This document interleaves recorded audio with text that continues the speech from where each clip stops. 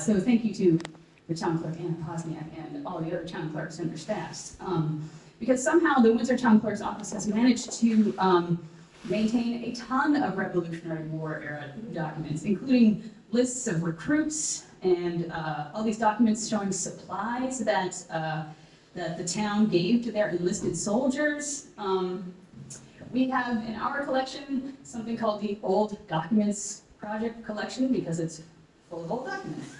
Um, uh, but we have like a hundred documents uh, that are similar to the town clerk stuff with enlistment records for individuals, uh, military orders, and receipts for goods provided by townspeople, um, provisions lists provided to uh, soldiers and their families.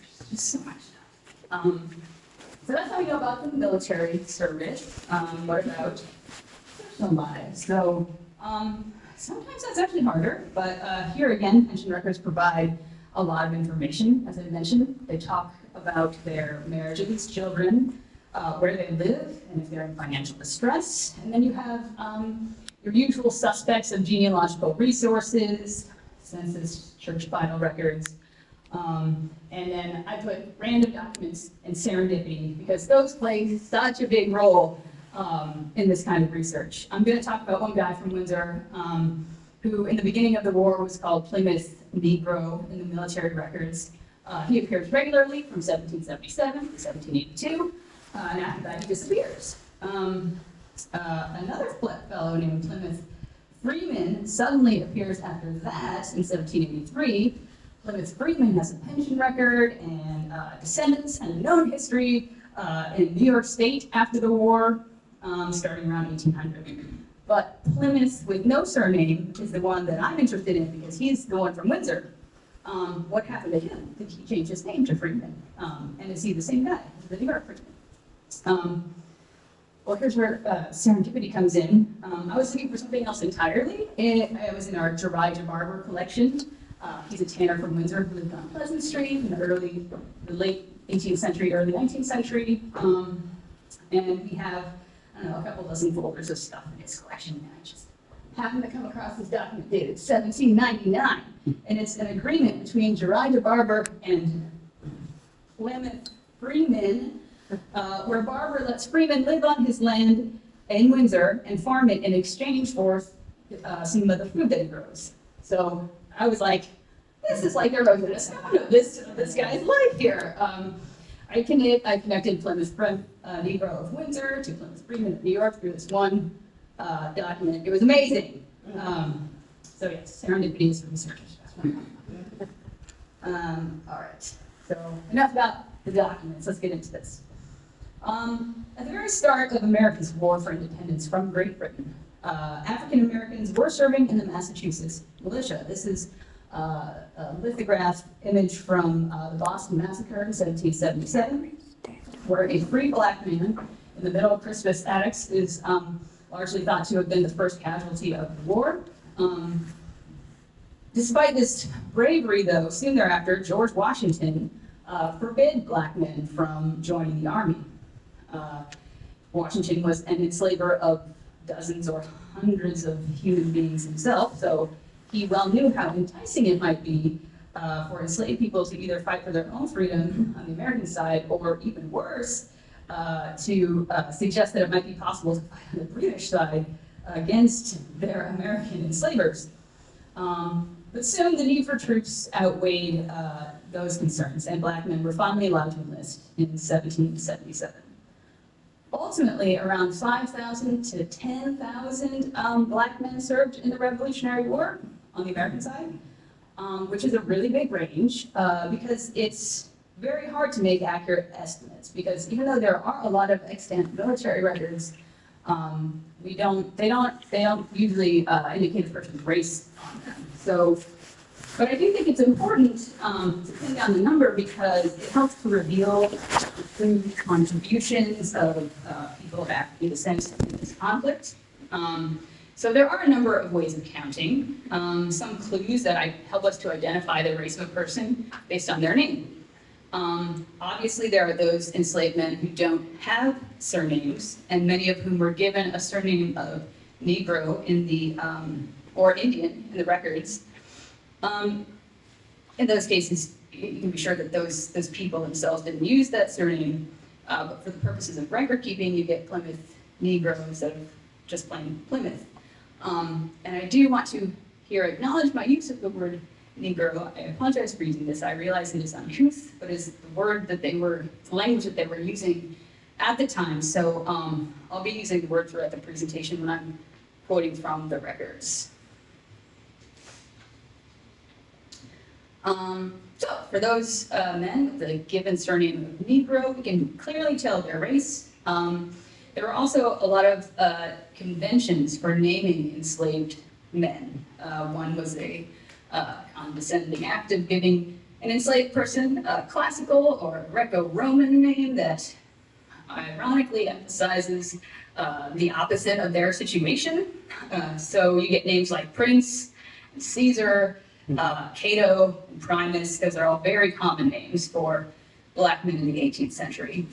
Um, another category for enslaved people uh, was place names, so names like Boston, London, Providence. Um, and another category was African names. Uh, Cuff, Quash, Cudjo are all names of, uh, are all days of the week.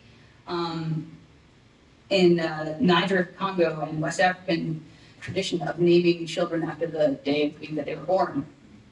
So you come across, if you come across any names like those, um, more often than not, it is a black person.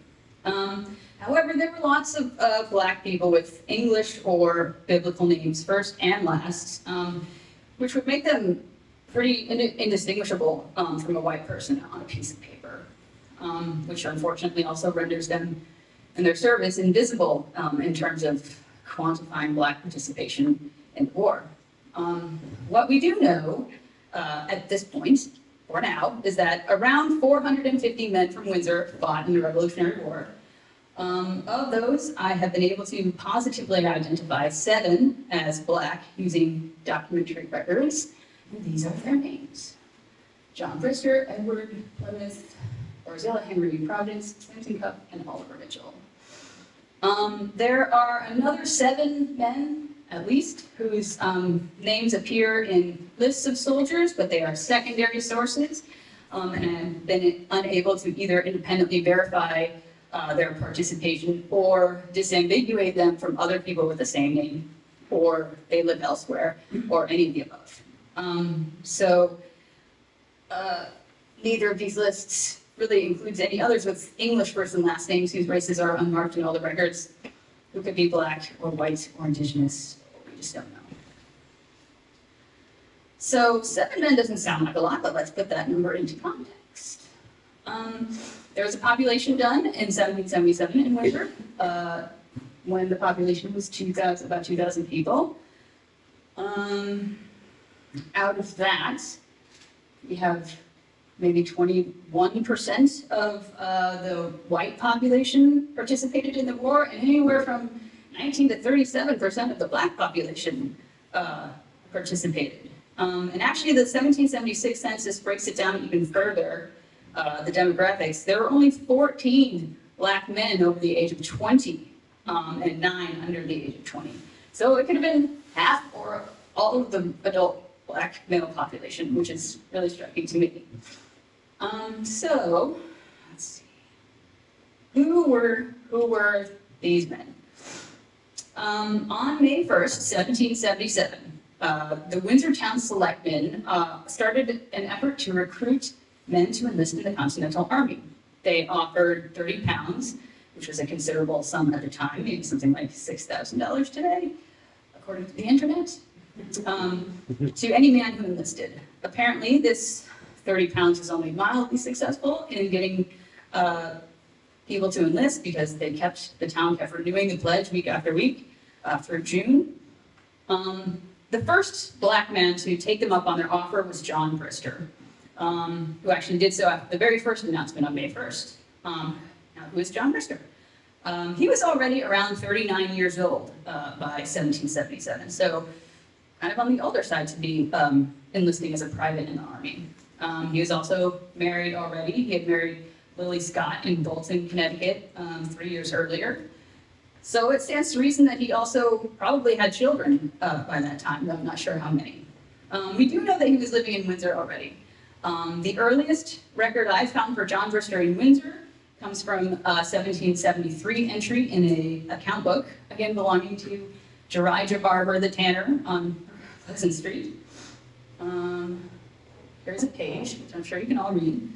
Um, it says, uh, Dr. Alexander Wolcott uh, is buying soling and healing shoes, which is a great spell. So, um, so uh, Wolcott was paying for John Brister's shoe repair.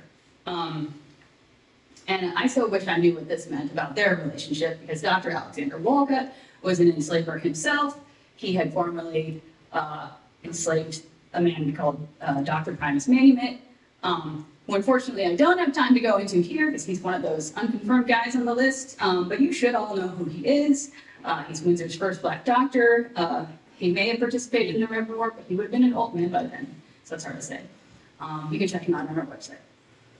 Um, anyway, uh, Dr. Wolcott paid for Brister's shoes to be fixed, which indicates that the two were friendly. Uh, and, or perhaps Wolcott owed him money because maybe Brister did some work for him and this was his payment. We're not sure. Whatever the reason, this record puts John Brister in Windsor in 1773, four years before he enlisted.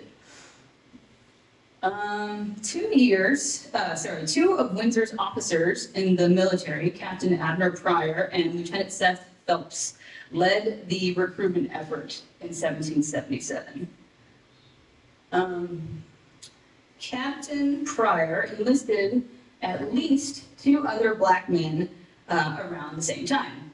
Uh, Edward, who was enslaved to First Church Reverend David Sherman Rowland uh, at the time, and Plymouth, who also doesn't have a surname, uh, so that implies to me that he was enslaved, um, but I don't know to whom.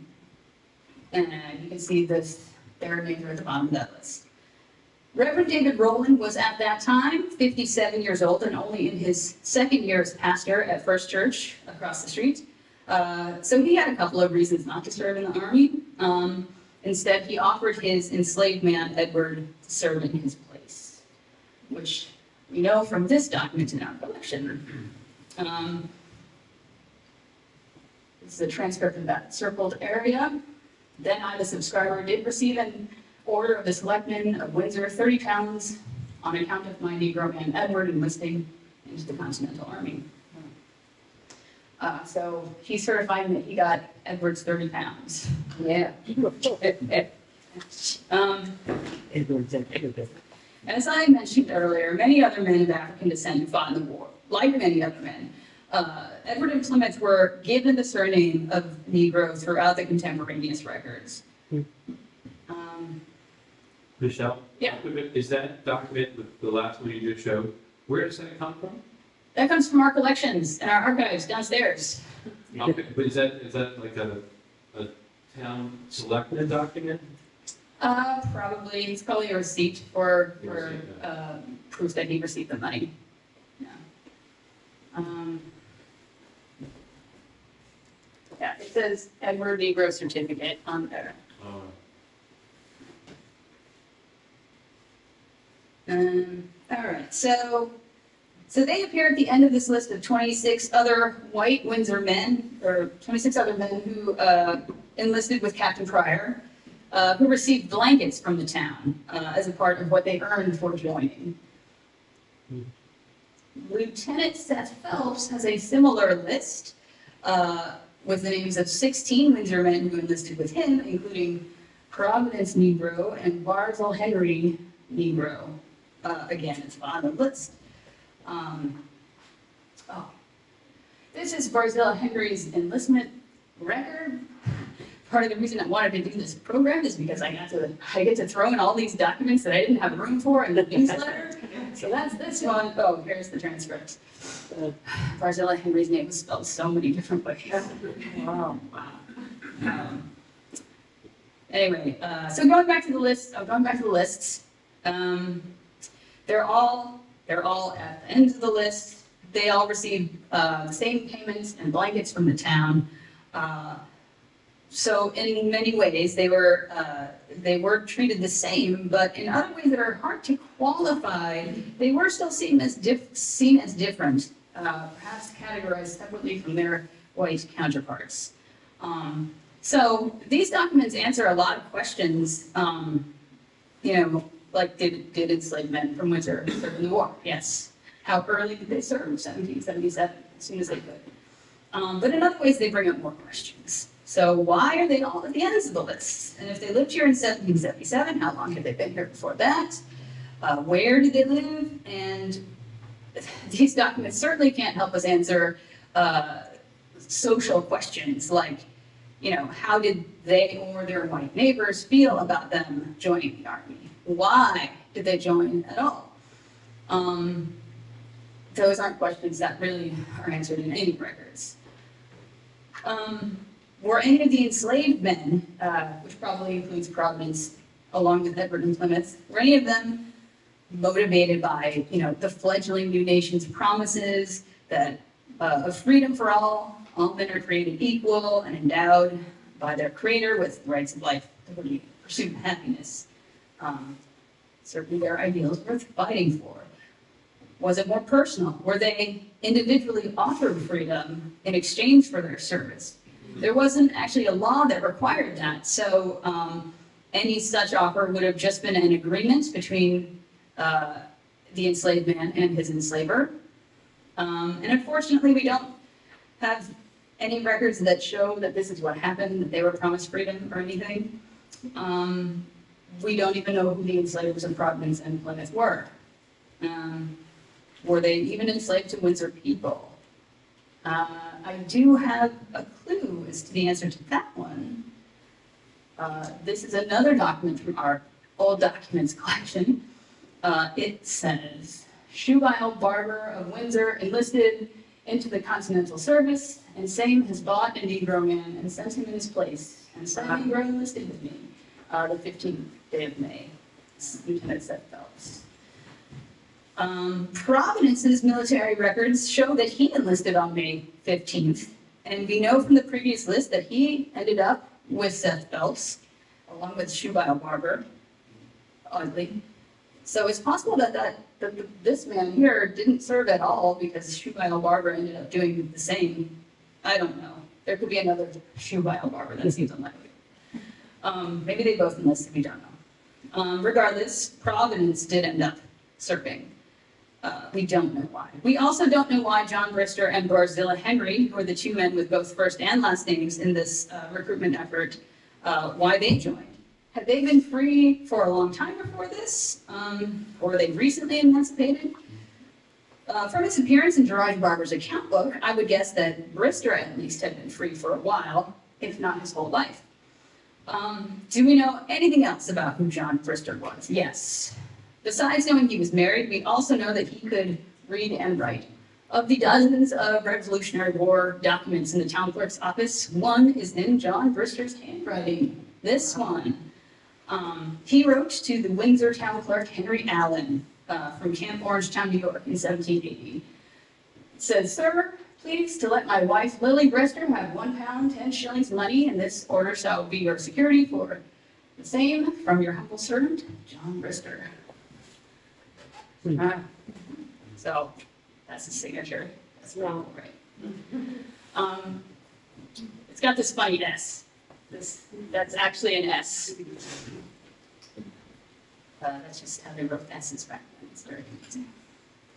Um, so anyway, we know he's literate. We also know that he had at least one son by the time he entered service. Uh, this is another document from the town clerk's office, one of the many lists of sundries or uh, payments of food and other goods given to families of soldiers. So this is sundries provided to John Brister's family. It includes uh, two pair of women's shoes and one pair for his boy. So clearly that's his son. Um, I don't know if the other, if his wife got a lot of shoes or if he had a daughter too. Yeah. Uh, and I wonder if Jerijah Barber made these shoes. So um, that is that's John Brister. Um, for the rest of the guys, I couldn't really find Edward, Plymouth, or Providence among those who got sundries from the town, but maybe that makes sense. Um, I did see Barzilla Henry. Oops. Barzilla Henry, again, different spelling for his name. And Samson Cuff, who I will, I mentioned before, and I'll talk about him later. Uh, but their records didn't indicate any family, so maybe they were single men for the duration of their service. Um, beyond these things here, unfortunately, we really just don't know that much more about their lives in Windsor. Um, we do know about their activity in the military, though, because uh, from their, their war muster rolls, amongst other records. Uh, and because we know from the muster rolls what regiments they served in, uh, we can trace the activities of those regiments through other sources and find out where they were at a given time. Um, all of these guys ended up serving in the same regiments with one another uh, and with other white Windsorites. Uh, Barzilla, Henry in Providence and Shubael Barber all mustered into the 4th Connecticut Regiment under Captain John Durkee and Colonel John Harmon. Um, John Brister, Plymouth, and Edward, actually that says Ned there. Um, likewise, they stayed together in Captain Abner Pryor's company of the 5th Battalion, command, commanded by Colonel Philip Bradley. I'm only mentioning all these names in case there are some really Rev War buffs in the audience, and these names mean something to you. Um, so, Brister, Plymouth, and Edward served along another black man called uh, Prince Negro. I haven't been able to determine where he's from. There's, there's somebody named Prince in Windsor, could be the same guy, I don't know. Um, oh, along with many other white Windsorites. All the guys in yellow are from Windsor. They're all in the same company. Um, and the red ones are the African Americans. Um, some of the white Windsor neighbors in the 5th Regiment here included Daniel Bissell, who is a future spy for George Washington and one of the first three winners of the Purple Heart Award. Let's see. Daniel Bissell. That's a funny S again, Bissell. Um, and Sherman Rowland. Sherman Rowland was uh, the son of First Church Reverend David Sherman Rowland, also known as Edward C. Slaver. Is that awkward? uh, would either have felt animosity towards the other? We can only speculate. Um, would Edward have been uncomfortable in the presence of someone uh, whose father legally owned him and controlled his every move outside of the military? Did Sherman feel as though he was serving with someone uh, who was beneath him? It's possible that the two were friendly, um, especially after they had served together for a while. They may have been the same ages. Uh, they may have grown up together. It's possible they played with each other's children. Um, perhaps the truth is somewhere in between. It's, it's really impossible to know what relationships were uh, like generally among these recruits um, or what the community atmosphere was like on a day-to-day basis.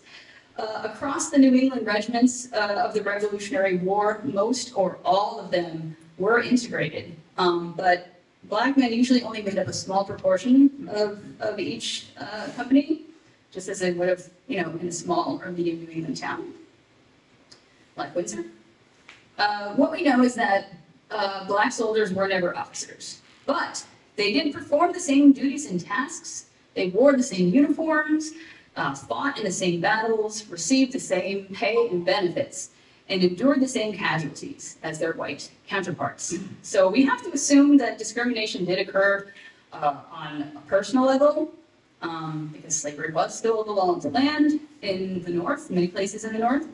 Uh, but there was very little difference in how the military treated them once in service. Um, as I mentioned earlier, by following the regiments that we know our Windsor guys were in, we can track where they would have been at, at a given moment in, during the war. So John Brister, Plymouth, and the rest of the 5th Connecticut Regiment were among the units who spent the winter of 1777 to 78 uh, in, with George Washington at Valley Forge. Um, they, this included more than 700 African Americans, they also both later fought at the Battle of Monmouth, which is uh, illustrated here. In fact, uh, Plymouth in particular was a participant to or eyewitness to a participant in or eyewitness to many key events uh, of the war. Because he came to serve as a waiter for General Jedediah Huntington uh, on and off for over four years. Uh, waiters were what they called like personal servants for officers, and both black and white men served in this role. Um, in his capacity as a waiter, Plymouth would have accompanied General Huntington wherever he went, including uh, when the general was assigned to the court martial for General Charles Lee and to the trial of British Major John Andre. Here is a list of where John Brister, a, a select list of where John Brister served throughout his six years in the war. As you can see, he was present at a bunch of major battles and encampments uh, that people would recognize. Saratoga, Germantown, Valley Forge, Monmouth, Redding, um, Yorktown, Dobbs Ferry. Uh, Brister also seems to have spent most of the war serving in the same company with at least one other black Windsorite. He was with Plymouth and Edward at the beginning, and later served with Samson Cuff in the 2nd Connecticut Regiment. Um, I haven't talked about Samson Cuff very much yet because he took a slightly different path from the first group of recruits um, during his three years of service. Um, he didn't enter the war until 1781, and these other guys had been in it for four years already. Uh, Samson having a surname, Cuff, and implies that he was free by the time he enlisted, but his biblical first name and African origin surname suggest he was likely he was likely born enslaved to an enslaved father with the first name of Cuff. Um, born around 1758, he was a bit younger than the others we've been discussing, uh, but he enlisted from Windsor in 1781, as you can see from here, this enlistment certificate, uh, and joined the Second Company of Connecticut's Fourth Regiment, which was one of the very few all-black units in the war. Um, for about a year, he would have been, uh, which would have been plenty of time to form close bonds. He was surrounded not by uh, his neighbors from Windsor, from home, but by a few dozen fellow soldiers who looked like him. I imagine this must have been a source of pride for everyone in the Second Company. Um, though not much has been written about the Second Company on their own, they aligned with a uh, another Connecticut regiment and a Rhode Island regiment in 1781. The picture I showed of this, this group here, that's uh, reenactors from the 1st Rhode Island Regiment and All Black Regiment. Um, so this company merged with them for a little while. And a French officer who observed this combined unit noted that, quote, Three quarters of the Rhode Island Regiment consists of Negroes, and that regiment is the most neatly dressed, the best under arms, and the most precise in its maneuver. End quote. Um, towards the end of the war, in 1783, after further regimental shuffling, reshuffling, Samson Cuff and John Brister found themselves together in the 3rd Company of Connecticut's 2nd Regiment, uh, along with other fellow white Windsorites like Sherman Rowland. Uh, by that point, Brister and Rowland had served in the same company for a solid six years. Um, I wonder if such prolonged brotherhood in arms led them to become friends, if not equals. Uh, Rowland remained the son of the enslaver of their former comrade Edward, uh, whose story tragically ended a few years earlier um, at some point before 1778, Sherman Rowland's father, Reverend David Rowland, sold Edward to Captain Pryor, who was presumably the same Captain Abner Pryor who enlisted him the year before. Uh, this is a record of that sale from our archives. Uh, it that he was returned for part of the quota for the town of Windsor. Uh, the last we see of Edward is a simple notation on Captain Pryor's muster roll from July 1778. It says Edward Negro died 15th July 1778. So even if Reverend Rowland or Captain Pryor pledged to manumit Edward after his service, uh, he sadly never got a chance to experience that life of freedom. Um, On the other hand, oh, and you can see Plymouth is being a waiter to a general there. On the other hand, Plymouth almost certainly did earn his freedom, uh, his emancipation. I had a temporary brick wall in piecing together his story because, um, as I mentioned, Plymouth of Windsor disappears after 1782 and Plymouth Freeman appears in 1783. Uh, and before January 1783, there was no Plymouth Freeman. Um, it's possible that there there are there are other men named Plymouth, but it's it's a relatively uncommon uh, name. So I'm hopeful that Windsor Plymouth uh, marked his emancipation by taking on the surname Freeman. So for our purposes, I'm going to assume it's the same guy. Uh, Plymouth Freeman and John Brister both served for six years of the war, which earned them the Badge of Merit, also known as the Badge of Distinction. Um, their discharge papers, as you can see here, are signed by George Washington.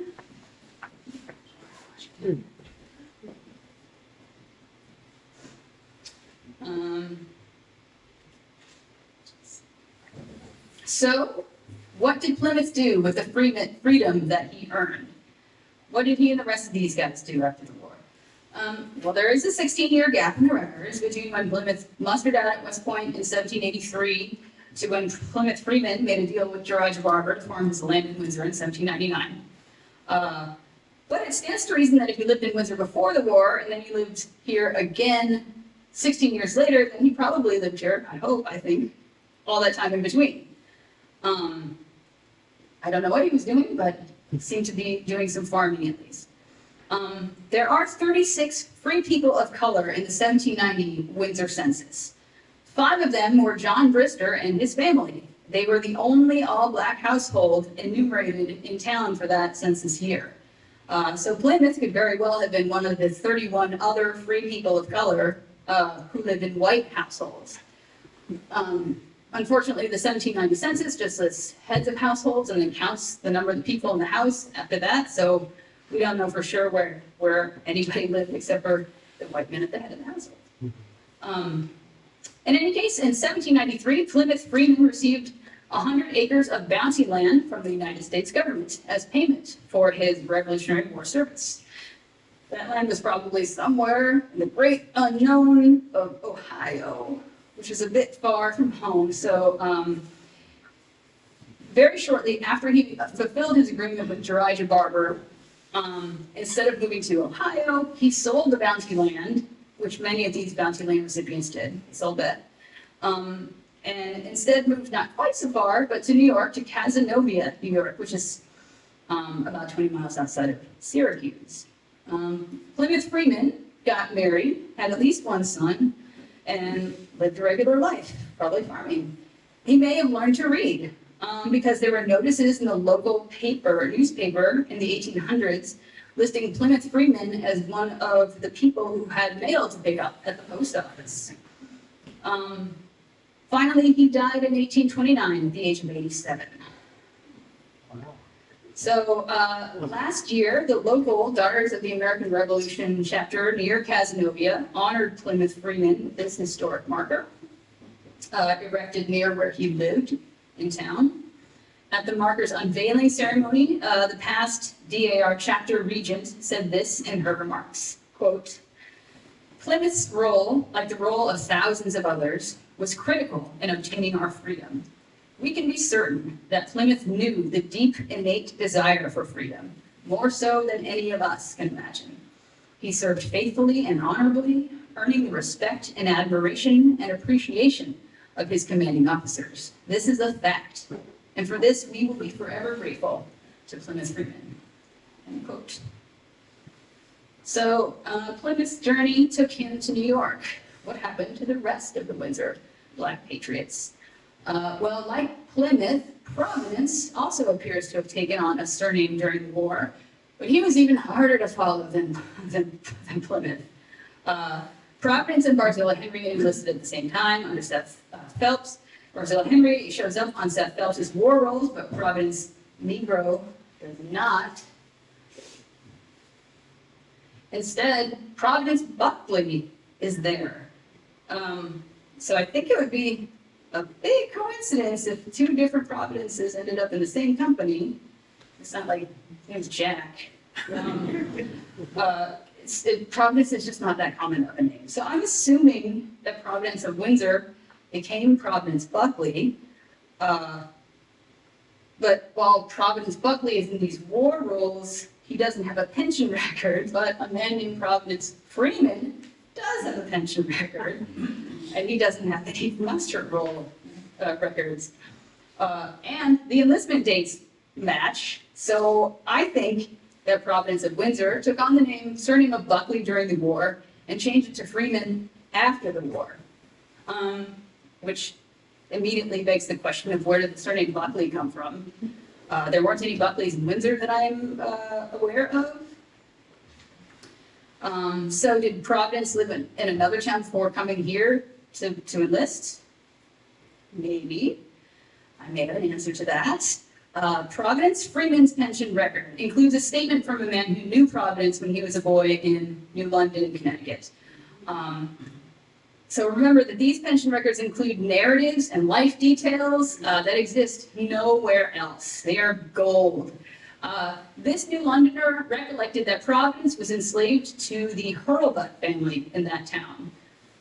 After some digging, I found an estate inventory for Joseph Hurlbut Jr. from 1774. Uh, if you don't know, an estate inventory is a listing of all of a person's possessions at the time of their death, and that would have included human beings considered to be property. Um, so this inventory lists a Negro servant named Providence, valued at 35 pounds, as well as a Negro woman servant named Steeler, valued at 13 pounds. Um, by 1774, Providence Freeman would have been around 34 years old. That was, this was three years before Pro- Providence Negro appeared on the blankets recipients list in Windsor.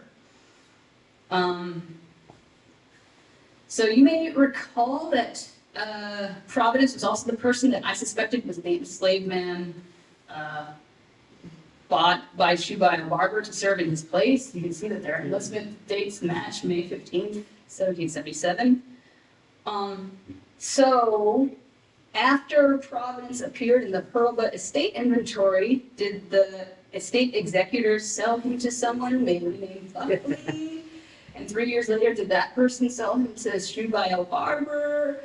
I realize it's a lot of speculation. The pieces fit together, so I want them to. Um, anyway, after the war, uh, Providence Freeman moves back to New London, uh, New London County at some point, settling in Colchester.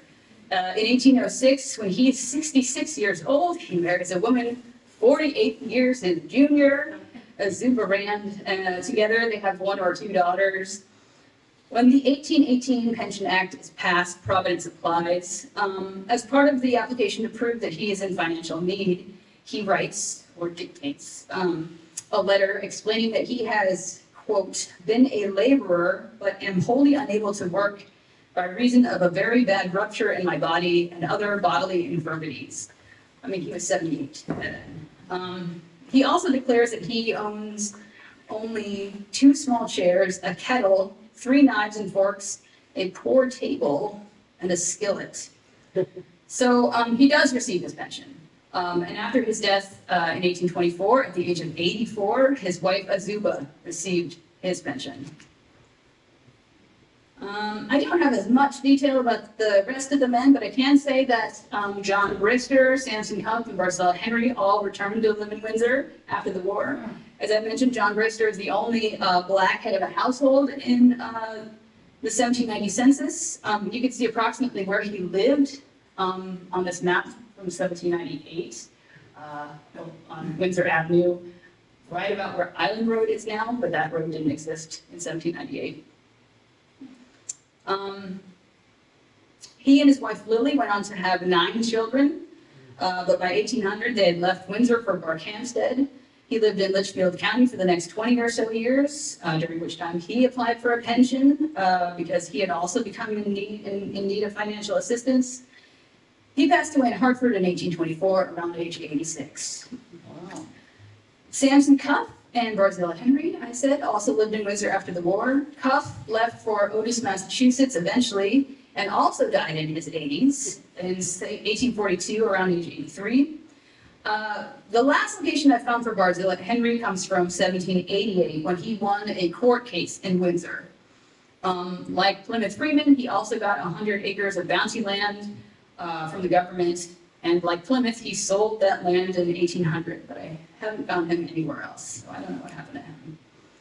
Um, there's one other black patriot I mentioned way at the beginning of my talk that I neglected to mention again, uh, and that is Oliver Mitchell, um, because his story didn't fit as neatly uh, into the narrative of the other six guys, um, because that service was entirely different. Uh, but his experience gives us an insight into what was happening in Windsor during the war. Um, the reason we know so much about his situation during the war is because he himself wrote about it in his pension application. We learn so much about him from the letters that he and his friends and neighbors wrote on his behalf. Um, Oliver Mitchell was literate. Um, you can see some of his signatures from various documents here. So some of what we know comes from his own words. Um, I'm not showing images of the pension records because if you thought any of those other documents were hard to read, the pension records are like scribbles, they're impossible. And it would just look dumb up there. Um, so Oliver Mitchell was, was much younger than all the others I've talked about. Um, he tells us himself in his pension letter that he was born in Simsbury in 1762 and moved with his family to Windsor when he was two, which suggests to me that he has been free for most or all of his life.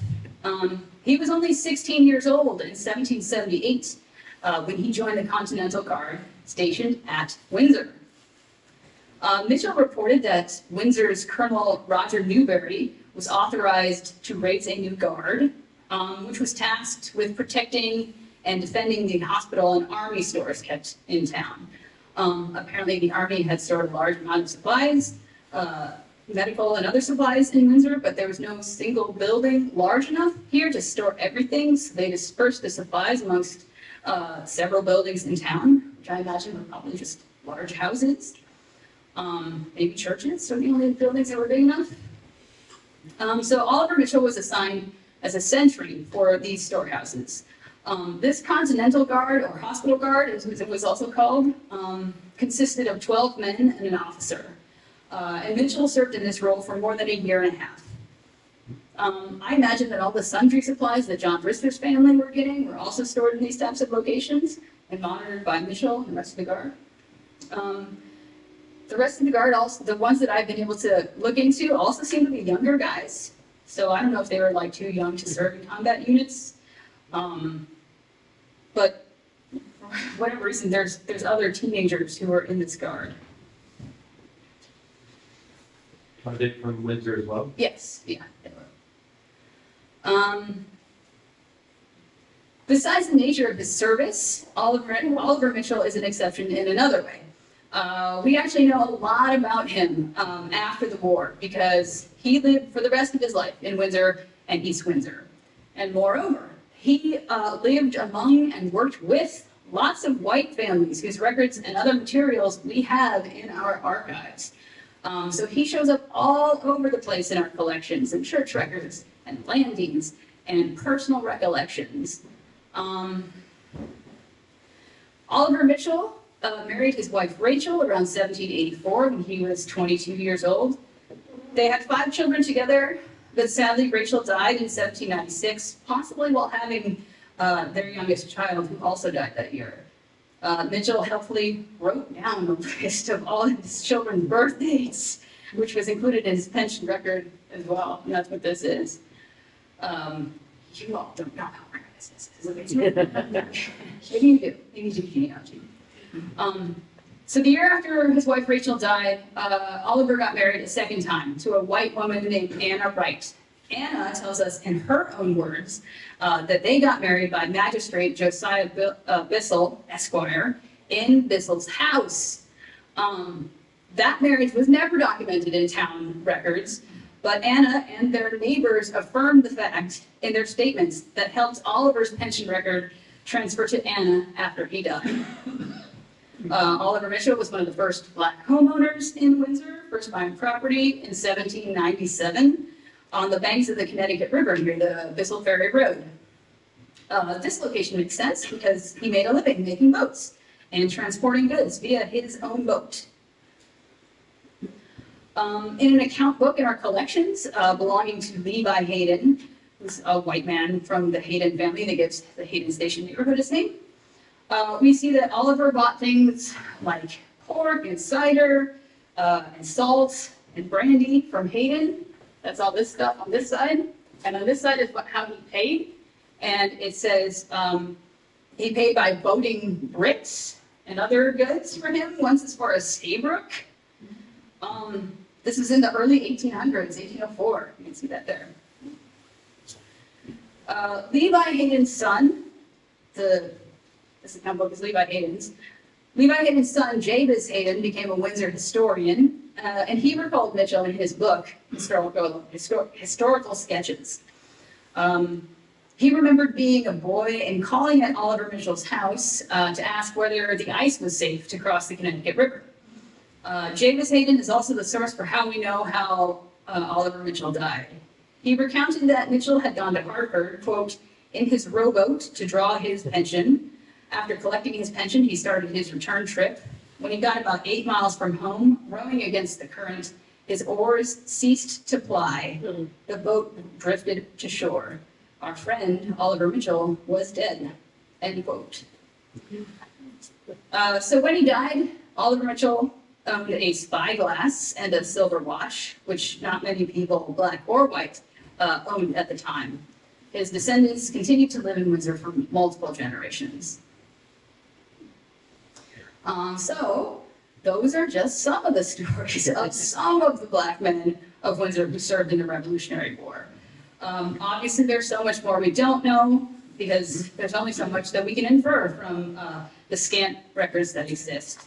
Um, my biggest remaining questions are not about the factual circumstances of their lives, but the more intangible things, their personalities, their thoughts and feelings and motivations um, that each one had about being a part of the founding of this country in this way.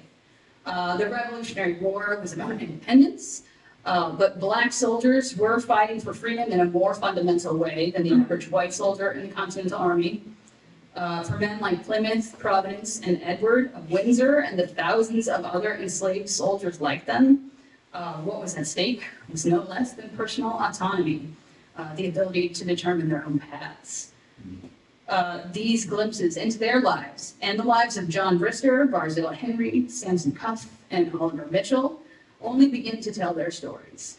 So much more detective work is needed uh, to fully illuminate who they were as people, uh, as well as who all the other Black Revolutionary War patriots were, who we still don't know, uh, from Windsor and beyond. Thank you.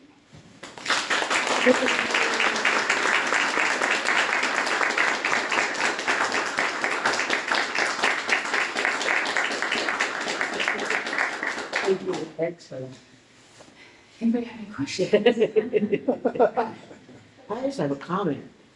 I just got a glimpse of the extraordinary amount of material you must have sifted through. Yes, like two, two years worth of work. Wow, Wow, wow, impressive. amazing. Um, first, I think all your inferences are, from what I understand, are right on. Um, but just, just an observation across the river in South Windsor, we, I'm continuously surprised, it sounds like you've seen a lot of the same thing, where there were free black families owning property and living alongside Oh, yeah, in, within the community of, of enslaved people. And yes. I- I'm, I'm fascinated by what that means about enslavement in Connecticut during that time as opposed to other places and even other places in New England. So I, I just find that, that piece fascinating. To your points about what it meant to these different men who served and why they served and how, what that was like when they were fighting alongside white men. It, it's fascinating. Yeah, I mean, it wasn't a big town. They all they all must have known each other. They were all neighbors. They all lived along, like, what is Route one fifty-nine now. Um, There were not enough, I think, black families at the time to have any neighborhoods of, of, of black families, so everybody was, was dispersed. It, it, it, yeah, it's, it's fascinating to think about just the personal relationships and interpersonal relationships that must have existed, uh, and how they might have changed as people fought alongside each other for so long. Or fifty years later, and a hundred years later. Just a quick one, Michelle. Did, I know that, you know, the Lexington alarm, there was some, uh, quite a few, Connecticut, it's like four thousand ultimately went up to the Boston area. Were, and that was before Washington came in, after Bunker Hill in seventeen, June seventeen seventy-five. And that's when he said, I don't want the blacks. I think that's what, so do you know if any of the, uh, the, the black Windsorites have, have gone earlier, or, because you, you have seventeen seventy-seven for the Yeah, I don't know, there, there aren't any that I know of. I mean, we, there are records of a bunch of white men from Windsor who, who were in the Lexington alarm. Like Nathaniel Hayden, whose house is still standing on Hayden Station Road. Um, but I haven't found names of any, any black men. But again, like, if, if, if somebody has like an English name, a first and last name, I wouldn't know. Um, so you can, you just can't tell the difference on paper.